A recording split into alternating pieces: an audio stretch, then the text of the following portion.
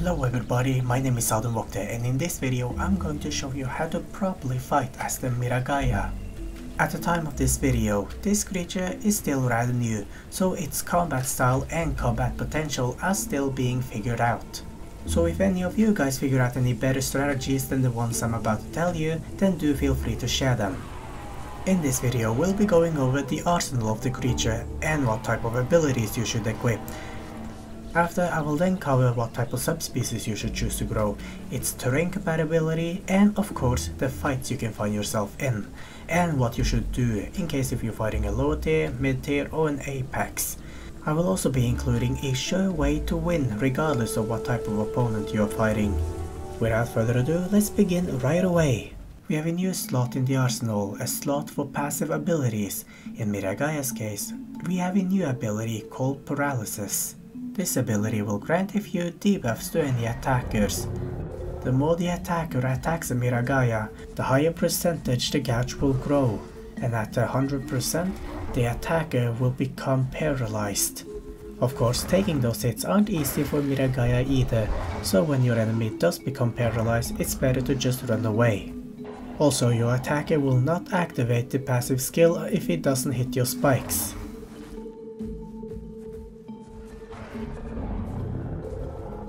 Fire abilities, we have the first projectile in the game, if you wanna call spit projectile that is of course. In any case, if you spit on your enemy, you will give them a damage reducing debuff. You can stack the effect of the spit up to 2 times, after which the opponent will become immune to any more spit attack.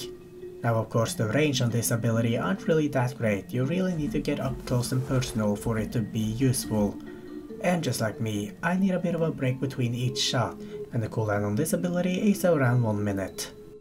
For sense abilities, we have 3 options. The first one are envenomation. Basically, you will lose a bit in your raw damage output, however you will increase the damage in your venom or toxin abilities. Mudblock increases your healing in bleed, bone break, venom and poison, as long as you're a dirty little dinosaur. Yes you are!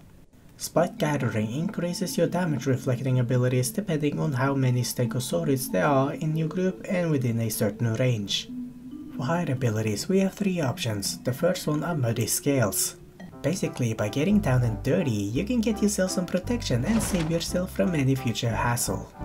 Oh, but make sure that you're not in the splash zone, cause if you try to imitate your partner and get yourself a little bit wet, then you can kiss that protection goodbye, and then in the near future you will receive more than just a headache. Also, do note if you have this ability and it's raining, then you are basically fucked. The second ability, Toxic Barbs, basically grants a little skull icon to your opponent's health bar. If their health drops below that skull, then they will become a skull. The last ability are Venomous Spines. Basically all of your attacks gets infused with venom attacks, meaning you can drain them for their stamina. For abilities, we have three options. The first one are Caked Up. I mean caked on. Basically, your dirty self will be able to indulge yourself a little bit longer even if you're wet. Then we have counter turn on. Basically, when somebody wants a piece of you, your movement becomes so much better. Of course, being the dirty dinosaur you are, you only get turned on when somebody wanna bite your ass. Then among these new stuff, we also got strong legs or whatever. Then for back limb, we have Lash, or what I like to call it, a 180. Really good if you want to change your direction on a dime. For tail abilities, we have two slots and we have four options. The first one are Detonate, which doesn't do its name any justice. I mean, all it does is turn Venom or Toxin into raw damage, but you know, I expected something a bit more explosive. I mean it does cause an AoE attack with its tail, but with a name like that I was kind of expecting a huge explosion. The second ability a tail attack, which does as it says. On the flip side, depending on what hide you got equipped, your tail attack can also either do venom damage or toxin damage. Furthermore, with directional attacks now being a thing, you might actually be able to hit your opponent this time. Tail barrage are basically tail attack times 3, though the cooldown are longer and the amount of toxin or venom being given to your opponents gets stacked with each hit. Tail swing are just a charge up attack that does as it says depending on how long you charge it. When it comes to what abilities you should have equipped, then I would recommend those you see on screen.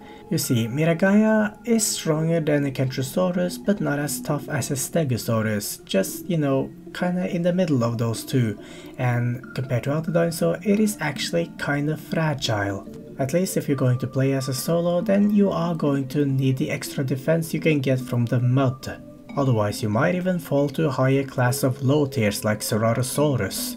If you are playing with a friend or with another Miragaia, then I would have one with Toxic Spike and the other one with Venom Spikes. As for why I chosen the specific tail abilities, I will show you, but that is better covered in the actual fights. As for leg abilities, that's kinda simple, it's just the turn radius of Miragaia kinda sucks. When it comes to what subspecies you should choose to grow, I would recommend Stamina Recovery, especially if you are a solo player. This is due to the fact that 3 out of 4 of your tail attacks are stamina draining abilities. And like I said before, the Miragaia are surprisingly fragile, meaning that the moment it loses stamina, then it is pretty much just a sitting duck. Also, the health recovery on this thing are actually not too bad, and the spike damage are already good enough. Like you saw in the beginning, the Miragaia aren't too slow for a creature its size, and due to its low posture, it doesn't have too much problem getting through thick vegetation. Of course with your speed, fighting in open areas aren't too much of a problem unless you're facing low tiers. Basically, you can fight anywhere, as long as it's not full of ups and downs. Make a habit out of this, it doesn't matter what tier you're up against, always before a fight, make sure that your mud level are 100%. When it comes to fighting low tiers, things are rather simple, you can just overpower them. Since it's that easy, let's rather look on things you shouldn't do during a fight with a low tier. First of all, if you're going to use spit, make sure that you are within range.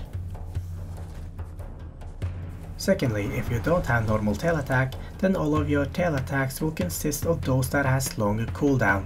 This will leave you vulnerable and open for counter attacks. Also, raptors will find it less than ideal pouncing on you, as they will receive a bunch of debuffs upon contact. For mid-tiers, it's a whole nother story. Miragaia is no Stegosaurus. Without the buffs from the mud abilities, it will not tank hits very well. Even with all the debuffs it can give, it still finds itself outclassed, outmaneuvered and outplayed by most mid-tier.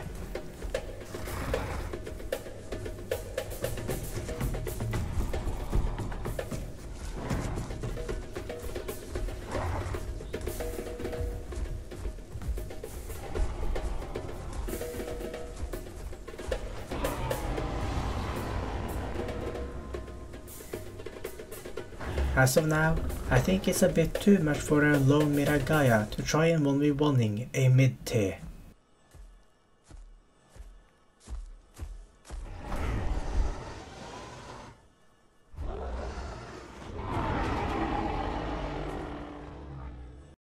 And if 1v1ing mid-tiers was barely possible, then 1v1ing Apaxes would be impossible.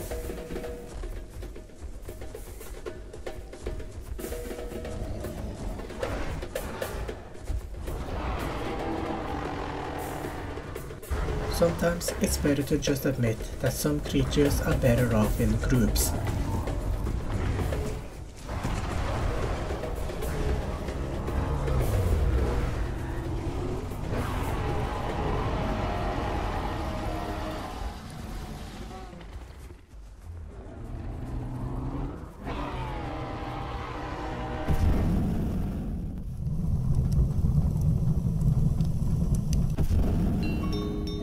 Again I would like to hammer down the fact that at the time of this video, this creature came out just a few hours ago. Basically the combat style and the combat strategies for this creature are still being figured out. So if you have any helpful tips do feel free to share them, and support this channel. With that being said, I thank you so much for watching and I will see you guys later. Goodbye!